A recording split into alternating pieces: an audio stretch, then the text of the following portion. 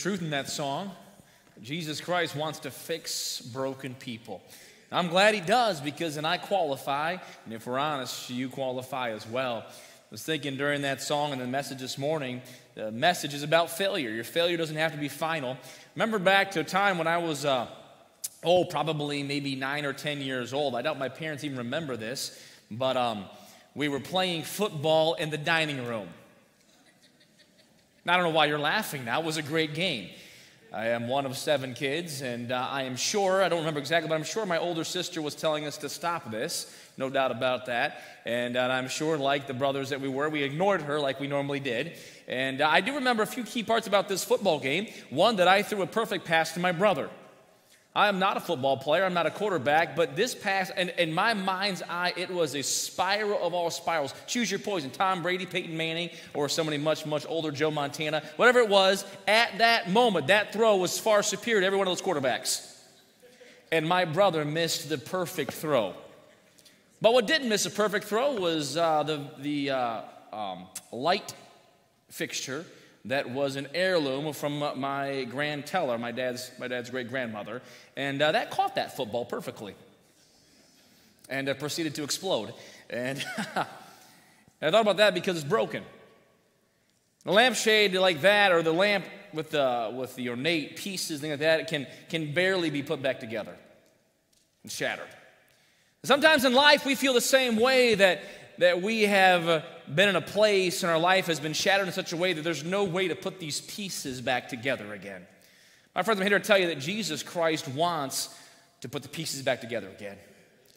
And it's not about you and me trying to somehow assemble them in a way and, and try to craft them. Well, here, Jesus Christ, here's the pieces back together, do something with it. It's merely bringing the pieces to Him and letting Him do something great with them. He can do something far better than you and I can ever do in our life. I want you to turn your Bibles, if you have them this morning, with me to Mark chapter number 14. Last week we began this little mini series on the Gospel of Mark. If you were here last Sunday, you remember that as I talked about the book of Mark, Mark is a gospel that is different than the other gospels. It will be similar in some of the accounts. Matthew, Mark, and Luke are, are three that have similar accounts, but Mark, Mark is like a machine gun. If you missed it last week, go back and watch that, watch that part. You'll, you'll hear just in chapter one how Mark, like a machine gun, will begin just to bring about his point, which is Jesus Christ is the supreme servant. And he came to serve, and we ought to serve as well serve him and serve others. But Mark, one thing after another in the book of Mark, barely a moment of rest in the book of Mark barely time to catch your breath. If you're reading the book of Mark, it is one account after one account after one account. And Mark, though the shortest of the three gospels, has so much truth packed inside of it. But you may remember if you were last week, and if not, it's all right. I'll tell you this morning that Mark was not one of the 12 apostles of Jesus Christ. Now, Matthew was, we know in Matthew chapter 9, when Matthew was called, he was a tax collector, uh, and he sat there, and Jesus Christ called him, and he pushed aside, I believe, pushed aside the table and pushed aside the money that he'd stolen from people and followed Jesus Christ.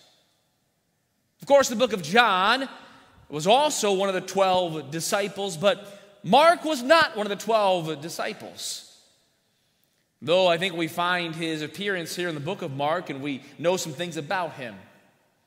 But this morning, with the Lord's help, I want to look at this thought about failure. Because the fact is, all of us, all of us fail. Sometimes we deem it to be a small failure, a quiz in a class. It may sting a little bit. There may be some embarrassment, a, and sometimes it's a bigger failure. Boy, you've made a mistake driving, you got an accident that was your fault. Sometimes it's a huge failure. Something that affects those closest to you and perhaps severs relationships and hurts people. But your failure and my failure doesn't have to be the end of our story. And in Mark chapter 14, we're going to read about some failing. Look, please, in your Bibles, Mark chapter 14, beginning in verse number 33. Now, at this point in the story, in the account of the gospel, Jesus Christ has ministered for three years or right around that time frame. They've had the Last Supper, and now they're in the garden. And in this, we're going to see that Jesus Christ is going to be betrayed.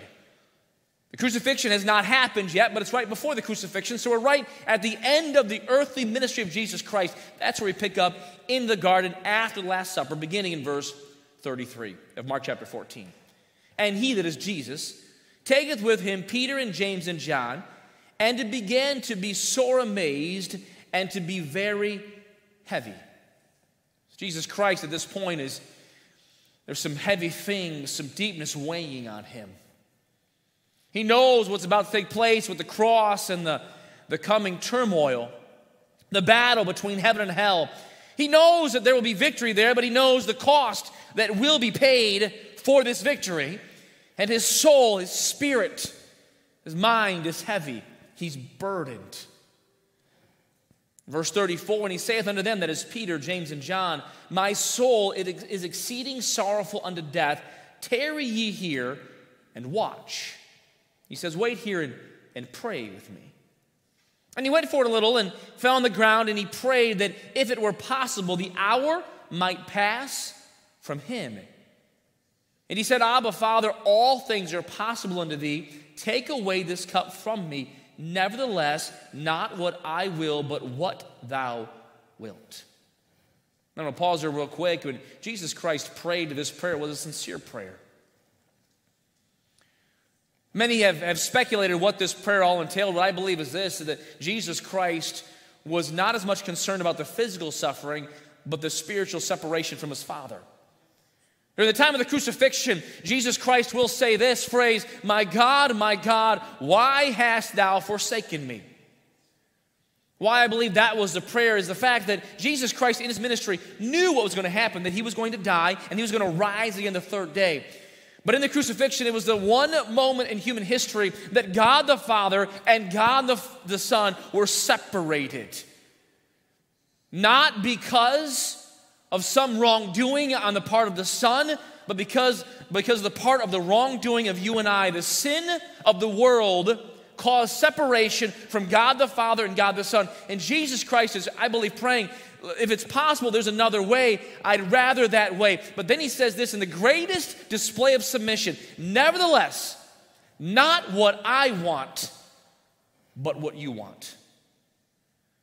This is not the sermon this morning, but just maybe a help to you, just a thought for you. There are times in life that you and I will face something that, that will not be what we choose to face. And we'll probably even echo some of these thoughts, if not even this prayer Lord, if it's possible, let there be a different path. Let this cup pass from me. I, I wish there was some other way to accomplish this particular thing that needs to be done. And we must echo at that time the words of Jesus Christ. Nevertheless, no matter what, not what I want, but what you want.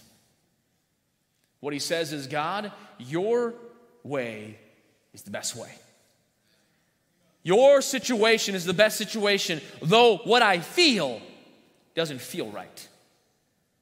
What I, what I really may want doesn't jive. What I most want is your will in my life. Jesus displays that for us here. He prays this. You can feel just the burden in Christ's heart and his life. You can feel that burden. The Bible says that, verse 37, he cometh and he findeth them sleeping. He comes back to the disciples, to Peter, James, and John, and they are not praying for Jesus Christ. Though Jesus Christ said, Will you pray with me? Will you sit here and pray? And he comes back and, and, he, and he finds out that they have fallen asleep while they're praying. Good intentions, but a bad result. Now, don't raise your hand, but have you ever fallen asleep while you're praying? I will raise my hand. I remember a pastor once said, or a preacher once said, You've never really prayed till you've fallen asleep while you prayed. I don't know if that's true or not. All right, I think it probably made him feel good. Uh, but I've fallen asleep. Man, I've been praying, and the next thing you know, you wake up, you're like, wow, that was some good time with the Lord. No, that was a good time relaxing. Peter, James, and John, they fell asleep this night. Jesus Christ comes back, and the Bible says he finds them asleep and saith to them, He wakes them up. He wakes up Peter. He says, Simon, sleepest thou? Couldst not thou watch one hour? Peter, really? Could you not pray for me for one hour? For 60 minutes? Could you, I mean, on the greatest, on the eve of the greatest event in human history, could you not pray for 60 minutes? Again, verse 38 Watch ye and pray, lest ye enter into temptation. He says, Peter, listen, you pray.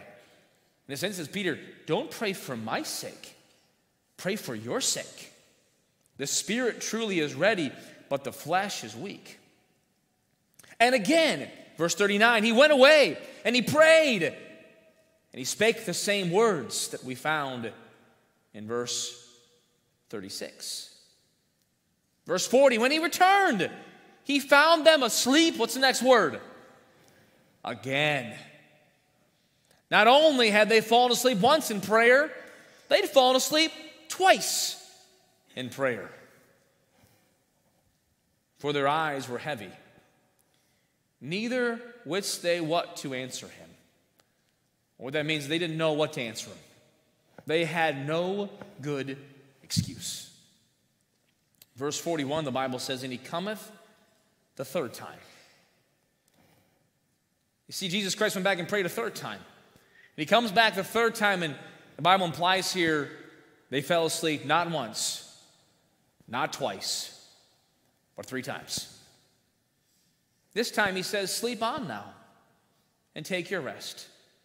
It is enough. The hour has come. Behold, the Son of Man is betrayed into the hands of sinners. Then he says, Rise up, let us go. He that betrayeth me is at hand. So he wakes him up and says, Listen, time to get up. The one who's betrayed me is here. Continue verse 43. And immediately, while he yet spake, Judas, cometh Judas, one of the twelve, and with him a great multitude with swords and staves from the chief priests and the scribes and the elders. And he that betrayed him had given them a token, saying, Whomsoever I shall kiss, that same is he, take him and lead him away safely. And as soon as he was come, he goes straightway to him and saith, Master, Master, and kissed him. And they laid their hands on him and they took him. They took Jesus. And one of them that stood by drew a sword and smote a servant of the high priest and cut off his ear. And Jesus answered and said unto them, Are ye come out as against a thief with swords and with staves to take me? I was daily with you in the temple, teaching, and ye took me not, but the scriptures must be fulfilled. And they all forsook him and fled. And there followed him a certain young man, having a linen cloth cast about his naked body. And the young men laid hold on him. And he left the linen cloth and fled from them naked. And they led Jesus away to the high priest, and with him were assembled all the chief priests and the elders and the scribes. These 20 verses we looked at are filled with failure. But my friends, failure doesn't have to be final. When we look at the Bible this morning, we're going to see how God can still work. God can still use someone even after they've messed up. Lord, I thank you for the time that we have. I pray the next few moments, Lord, you help our hearts to be encouraged. Lord, I pray that, that you would challenge us. And Lord, if there's someone here this morning who perhaps feels like they've gone too far, They've done too much, hopeless and helpless. Lord, that you would bring hope and help to them today. Lord, if there's someone here who doesn't know you as Savior, who's never trusted and believed in Jesus, Lord, I pray that today that they would believe in Jesus and ask Him for forgiveness of sins. Lord, we pray these things in Jesus' name and thank Him for His help today. Amen. You see, failure doesn't have to be final, but sometimes, because of our choices, failure ends up being final. There are whole video places dedicated to showing people failing, where they walk, the way they drive, and unfortunately, many of us have enjoyed people making a mistake. In fact, if I were to walk up and down these stairs and I were to trip, there would be a large number of you that if I tripped down the steps and failed up the steps would laugh at me. Now, there's a few kind hearted spiritual people in this room who would gasp, Oh, Pastor, are you okay? But the rest of you pagans would say, Hey, did the cameras catch that? This'll be good. And there is some humor in that. If I fail as I walk, whatever, who cares? We can laugh about that. All of us have probably tripped in life walking down the sidewalk or just merely walking down a flat surface. Hopefully, not injured too badly. We fail. I read about in history some of the larger failures of, of, of nations and countries. I read about that in 1453, during the siege of Constantinople, that the Byzantians, the nation, were under attack. And they were, they were entrenched and they were guarded, but, but, but the Turks were coming to, to overthrow the Byzantians. The problem is that night, one night, one soldier left the gate unlocked. You can read about it. And uh, the invading Turks poured in and overthrew the empire because the door was left open. What a failure. What a failure if that was your job.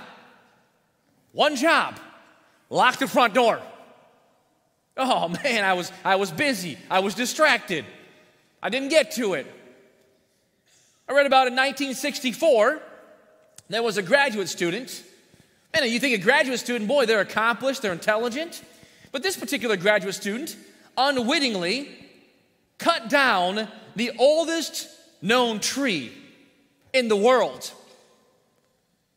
This bristlecone pine tree uh, dated back 5,000 years. Apparently, a, a tool got stuck in the tree, and apparently he got irritated or frustrated and took an axe and chopped it down. And only realized it was that old as he began to count the rings of the tree. Whoops. You can't just stick it back up with a little bit of super glue. Maybe no one will notice the tree is now dead. But failure doesn't stop there. In 1990, NASA, a government agency, spent 1.5 billion with a B as in boy, billion dollars to launch the Hubble Space Telescope. And Mrs. Dalton, you probably know what happened. They launched the Hubble Space Telescope, and when it got to space and sent back its first pictures, they were blurry. No, it's true. They were, they were blurry. They messed up on the design and took three years to send up a space mission to fix the Hubble telescope because they put the mirror in wrong. They hadn't designed it correctly. 1.5 billion, one job. One job. What's that a picture of? I don't know. It looks like static.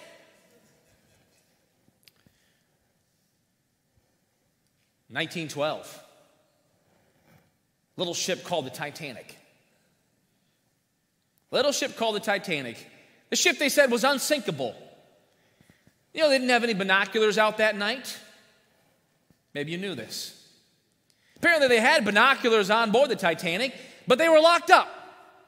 They were locked up, and in fact, uh, a man, a sailor named David Blair, at the last minute was reassigned to another boat. Only problem was he kept the key to the cabinet that had the binoculars in his pocket. So that night, the man who was watching out for the icebergs for the Titanic could only use his eyesight. Of course, we know that devastation and the failing there was awful. See, there's lots of different type of failing in life. Sometimes it seems kind of small, sometimes it seems, bi- it seems big, but there's failing all around us. This morning, I want to give us just a few thoughts about failing with the thought that failing doesn't have to be final. In Mark chapter 14, we see some accounts of this, and I want you to remember this first of all. Number one, if you're taking notes, this will help you, I promise you. Number one, sometimes you fail. You with me so far? Sometimes you fail. As hard as you and I try, As much effort as we attempt, whether it be in school, whether it be in sports, whether it be merely driving or walking down a flat surface, there are some times that you and I are going to fail. I'm not excusing it. I'm not saying it's okay. I'm just saying this is reality of life. That sometimes we, sometimes we fail. Now, this morning at 10 o'clock, we heard such some powerful testimonies. Some people were honest about some failings in their life. The fact is, if we were all honest, we could stay up here the rest of the day and tomorrow and share failings of life with everybody. And we could make the list long and it would be egregious. But the fact is, sometimes we fail. And in Mark chapter 14, we read, first of all, about Peter, James, and John, and their failing was failing to pray for Jesus Christ. Boy, I imagine if they could go back in time, if they could have gone back and then been able to pray for Jesus, I know without a shadow of a doubt that if they could have gone back, they would have stayed up to pray for him. What do they say? Hindsight is usually 2020. How many times have you been in life, you made a decision and something didn't go right, you failed, and you think, my goodness, if I could do that over again, I would have fill in the blank. I never would have gone there. I never would have made that phone call. I never would have said that. I never would have done that. See, sometimes, help me, sometimes we we fail. Sometimes we fail. I'm not excusing it. I'm just helping us realize this morning it's a reality of life. It may seem small, it may seem big, but we fail. You fail, I fail, and we fail. Sometimes a test comes back with a big F at the top. Sometimes a project we spend hours on is a dud. Sometimes a product is a flop. Sometimes the reaction in anger is awful. Sometimes the response is terrible. Sometimes the struggle is real. But sometimes we fail. And I'm glad the Bible kept the account of the disciples failing in there because they're real men. They were real men, real women in the Bible. And we read throughout the Bible, cover to cover, that sometimes we fail. Jesus asks us to do something and we don't. We know what's right, we know the right choice, and we don't. I forgot. I fell asleep. Doesn't matter what the reason is, but the reality is sometimes we fail. But my friends, sometimes not only do we fail, but sometimes you fail big. Sometimes it's not just a test, is it? You fail big and you think, boy, what I would just give for a failing test grade. What I would just give for a car accident. Sometimes you fail big. In fact, if you look in your Bibles, verse number 50 of Mark chapter 14, just a few words, we find some big failing. And they all forsook him and fled. If you know your Bible, you remember that before this happened, Jesus Christ told them, Listen, you're all going to forsake me. Peter will argue with Jesus Christ. And Peter will say, Ho, ho, ho, time out, Jesus. Time out. I know you think everyone's going to fail you and forsake you, but I'm not going to. Not me. Uh, everyone else may deny you, but, but I won't deny you. I won't forsake you. Jesus said to Peter, Peter, before this night's over, before this time's done, before the cock crows, before the rooster crows three times, you will deny me. Can you imagine the shame he felt. Sometimes we feel big, where it's not a small issue, it's a big issue. I read a story about a pastor. The story goes the onlookers thought it was unusual when the pastor pulled onto the property with a pickup truck. They thought it was more unusual as he drove the pickup truck across the grass and backed it right up to his office door. I thought it was unusual, Brother Treadway, as he refused all the help from those who came to offer as he began to unload his office in the back of the pickup truck. And he threw his books and his notes his computer, the pictures off his wall, load everything in the back of the pickup truck. They said he, his files, tossed him in a heap in the back of his truck. They said when he left the church that day, he drove down to the city dump, backed up the pickup truck to the city dump, unloaded every book that was in his office, every picture that was on his wall, every file that he had, every sermon that he wrote, and threw it in the back of the garbage of the dump. They said this young gifted pastor was determined never to return to the pulpit. Sometimes we fail, sometimes we fail big. You know, when we fail, part of the problem is that failure brings shame and embarrassment. It brings shame and embarrassment. In fact, look in the scripture, at verse 50, it says they all forsook him and fled. And look in verse 51, and there followed him a certain young man having a linen cloth cast about his naked body. And the young men laid hold on him, and he left the linen cloth and fled from them naked. Twice, once in verse 51 and once in verse 52, the Bible describes that this person was, was unclothed. Now, most scholars believe that this particular follower of Jesus right here was the writer of Mark. It was Mark himself who was there that night, though not one of the 12 apostles, well, not one of the 12 disciples, he was there that night. He was there when Jesus Christ was betrayed. He was there when they came with swords and staves and, and sticks to take Jesus. He was there. And everyone fled, including Mark. Including Mark. He fled. He even risked his own embarrassment and his nakedness to flee, to not stand with Jesus Christ. You see, failure often brings shame and embarrassment.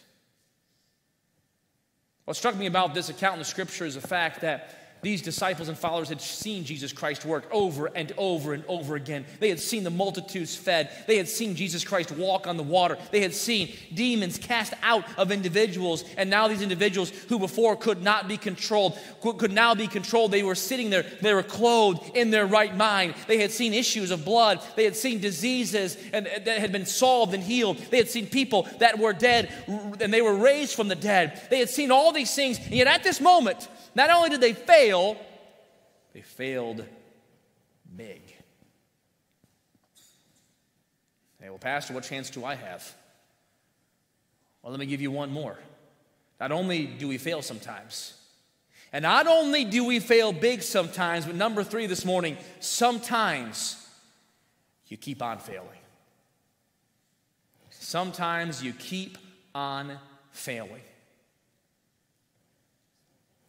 You don't have to turn there, but in Acts chapter 15, we have another account of this man named Mark. The man who fled and turned his back on Jesus. In Acts chapter 15, Paul and Barnabas, they're in Antioch and they're preaching the word of God. And, and some days the Bible says, Paul said to Barnabas, Let us go again and visit our brethren into every city where we've preached the word and see how they do. And Barnabas to turn to take with them John, whose surname was Mark, but Paul thought not good to take him with them, who departed from them and went not with them to the work. What happened was that Mark, this same Mark, when he was working with Paul a number of years later, he quit.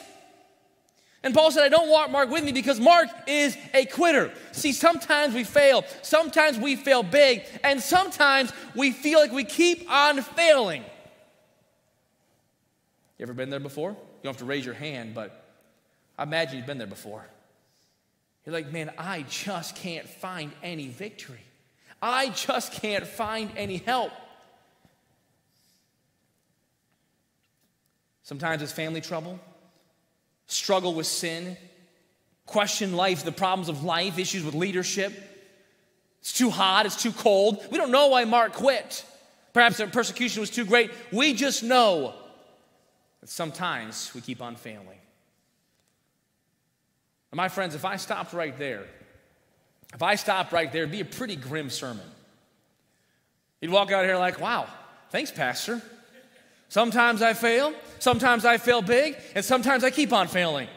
Well, praise the Lord, I'm going to go live Monday now. But I'm so glad that failure doesn't have to be final, aren't you? Oh, let me try that again. I'm so glad that failure doesn't have to be final.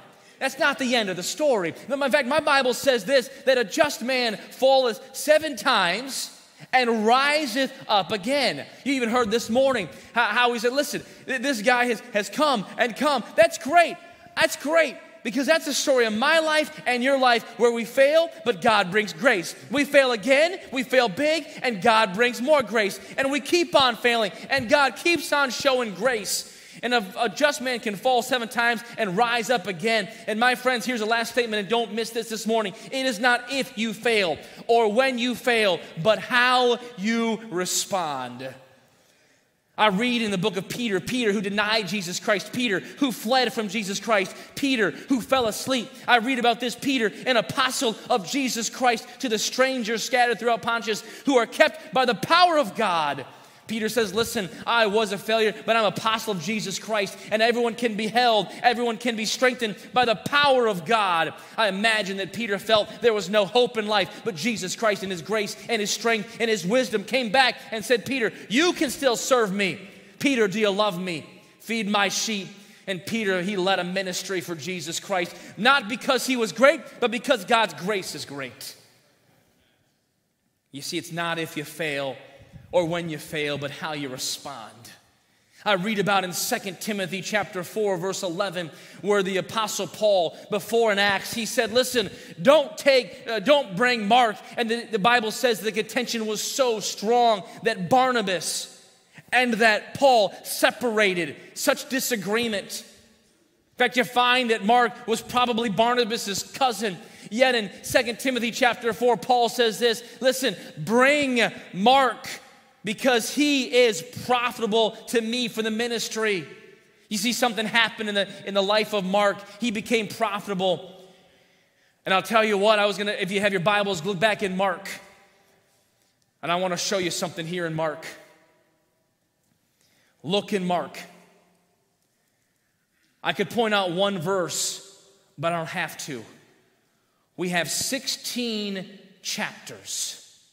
Mark chapter 1 Mark chapter 2, Mark chapter 3, Mark chapter 4, Mark chapter 5, Mark chapter 6, Mark chapter 7, Mark chapter 8, Mark chapter 9, Mark chapter 10, Mark chapter 11, Mark chapter 12, Mark chapter 13, Mark chapter 14, Mark chapter 15, and Mark chapter 16, all written through the inspiration of the Holy Spirit by a man who fled and left his clothes by a man who quit on the Apostle Paul. And 16 chapters later, sometime after that time, Mark came back to Jesus Christ. Mark said, You know what? I'll take one step back, and by the grace of God, I am what I am. And God allowed Mark to have a place in the testimony of Scripture. This man who was a failure, who failed and failed big and failed again and again, God says, I'm not done with him yet. He comes back to me. A just man falls seven times, yet rises up again, and now forever. Because the Bible says, forever, thy word is settled in heaven, forever. We have an account from a failure.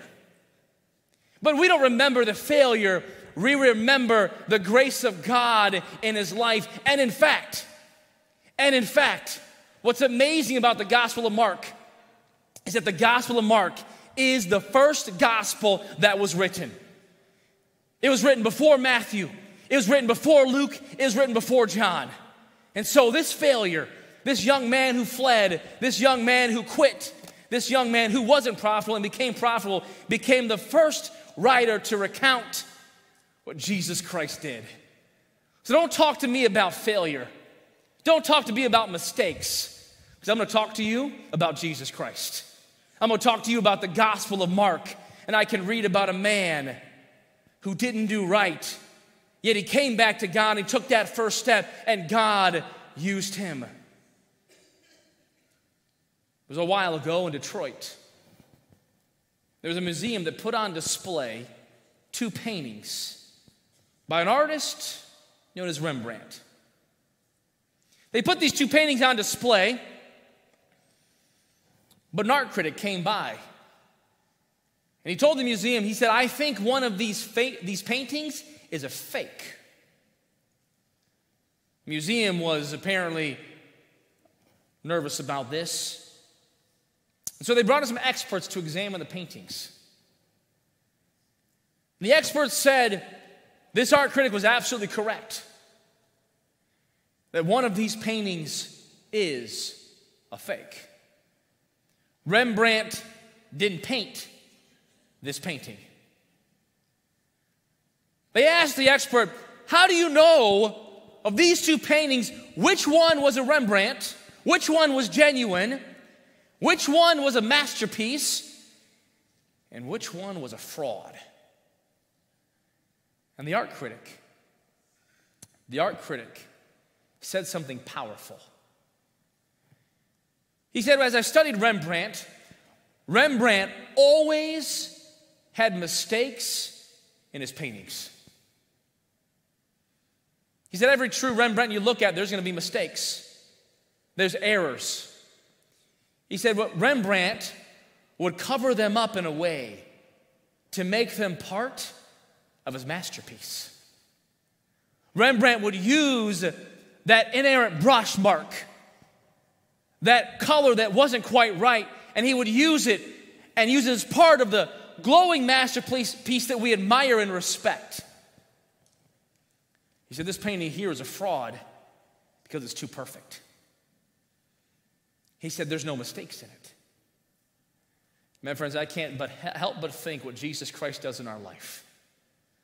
I love the fact that Mark chapter 14, we find about, we find out about the mistakes that Mark himself made. He wasn't glorifying the mistake. He wasn't saying, well, it was a good thing that happened. My friends, he was acknowledging that sometimes we're going to fail. Sometimes we're going to fail big. And sometimes, my friends, we're going to keep on failing. But with the power of Jesus Christ, His grace, His love, your failure, my failure, doesn't have to be final. Maybe today you have failure in your history. Maybe, you have failure in your reality. Today, you can take that one step back toward Jesus Christ. The Bible says if we confess our sins, he is faithful and just to forgive us our sins and to cleanse us from all unrighteousness. 1 John 1, verse 9. And my friends, that verse is not written to those who don't know Jesus, it's written to those who know and claim the name of Jesus Christ. And today, take the one step back. Because Jesus Christ can still use those broken pieces and make something beautiful.